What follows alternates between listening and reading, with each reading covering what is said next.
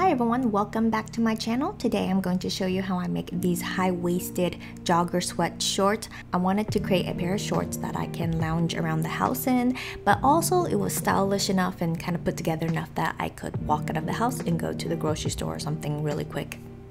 So I did draft the pattern for these shorts and I did that on a separate video so that this video isn't so long. So if you want to check that out, you can go ahead and click on the link below. It's just called how to draft high-waisted jogger shorts.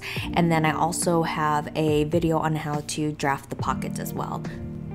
So once you've gotten the pattern for the shorts and the pockets, we're gonna go ahead and get started with our fabric. So for this project, I am using a fairly thick knit fabric. It's almost sweatshirt-like thick, but but it's not sweatshirt fabric. Underneath, it's not fuzzy like a sweatshirt.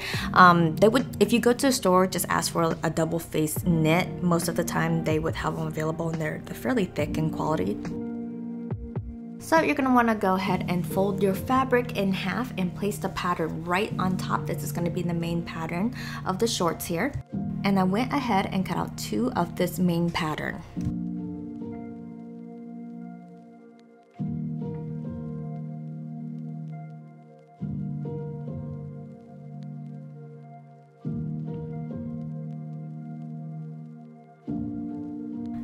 Next up is the pocket. I placed the pocket pattern right on the fold of the fabric and I cut out two of these.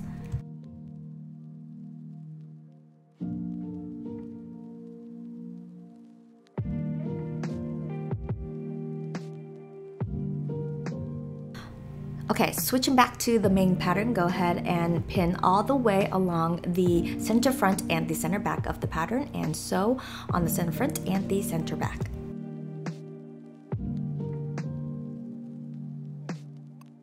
Once that is done, I'm going to match up the center front to the center back seam. This way I can see how the inseam is gonna line up.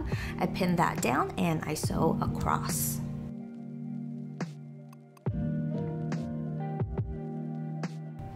Now I jump back to the pocket and I'm going to take the pocket and I am going to draw out the base stitch for the curves of the pocket at about a quarter of an inch, which is already accounted for in the pattern. Just gonna sew a really wide base stitch on that curve right there. Then I take the thread from that stitching and I pull so that it gathers the curve just a little bit. This way I can fold it inwards. The next thing I do is that I went ahead and ironed down the curve and the sides to a quarter of an inch and then the top will be an inch folded down. So I repeat this on the second pocket. So if you flip it over, everything is folded inwards to a quarter of an inch and the top is folded down at one inch. And the pattern has already accounted for for all of the seam allowances and I just use an iron with a lot of steam to do this. The fun part about these shorts is that they're very customizable, um, especially if you play around with the pocket design. So for this pair, I am going to add ruffles to the pockets. So I went ahead and I cut out a two inch strip. I don't really have a length for it. I just kind of eyeball the length um, and you know figure out how much I need as I go. So then I sew a base stitch in the middle of the 2 inch strip all the way across the length of the strip.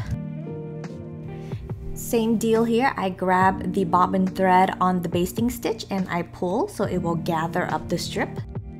So here I'm pulling and gathering and then I match it to the length of the top of my pockets and then I trim. Keep in mind that the tighter you pull, the more it's gonna look gathered. The looser you pull, the less gathering it'll look. So um, this is the reason why there isn't an actual length when you're cutting out strips because you don't know what kind of look you want for your ruffles. Um, so I went ahead and just chopped some of it off right here and then I'm gonna match it to my pocket.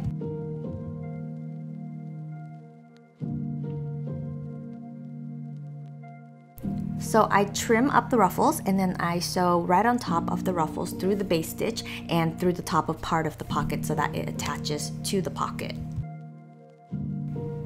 Next, take the two pockets and place it right on your shorts by pinning them down. And the best way to sew it is to actually open up one leg and place the pocket flat like so. Um, I like to do it the other way first so I can see what they look like on the sides. But once you get the look that you want, um, you can go ahead and just really pin it down and sew along the edge a nice top stitch.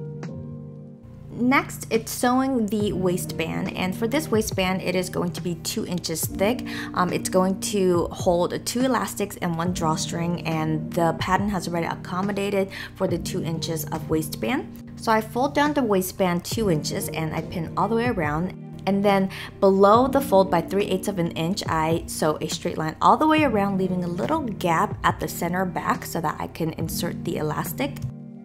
Next, I use a 5 16th of an inch elastic and I measure it all the way around my waist minus about 3 inches or so because you want it to be a little stretchy. And then I feed the elastic through the casing and you're supposed to use a safety pin here but I didn't have one so I'm just using a paper clip and um, the little gap that was left from the center back earlier. I'm just gonna go ahead and feed the elastic through there once the elastic has made it through the channel, you're gonna go ahead and butt the ends together or overlap them like I'm doing over here and then just sew a straight line a couple times backwards and forwards so that it is nice and secure. And then you're gonna give the waist a quick little pull so that it will distribute the elastic all the way around the waist. And then the opening from earlier, I went ahead and I just sewed that close.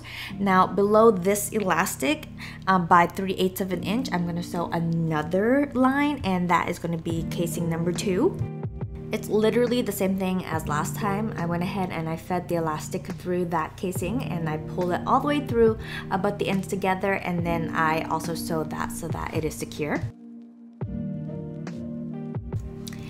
And again, where there is the opening for that second casing, I went ahead and I sewed that shut. And below that, by 3 eighths of an inch, I went ahead and I sewed another line all the way around the waistband. For this casing, I sewed all the way around and I did not leave a gap because in the front, about an inch away from the center front, I'm going to create a little snip on both sides.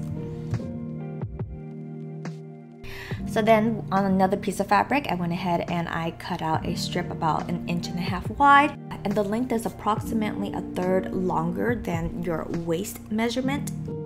So I take the strip and I fold it in half and I sew the raw edges all the way down. Pull the whole thing inside out. Honestly, you can use a ribbon, a string, a shoelace, anything that you want to use as a drawstring. Now back to the safety pin or paper clip method and I feed it through one of the little slit in front of the shorts and I just pull it all the way around the casing. So then I pull the drawstring all the way through and I even it out through the waist a little bit here and then in the front I just match up the length and I trim it up. So for the ends of the drawstring, I do tie a knot at the end so that if I'm washing them, they don't get lost up in the waistband again. And that is it for these shorts. I pop them on with a t-shirt and a jacket and they're totally awesome for lounging, going grocery shopping. I can even work out in these if I wanted to, like light yoga. I do love the fact that the pockets are huge because then I can hold my phone, my AirPods, my keys, or my wallet, or all the necessities that I need during the day.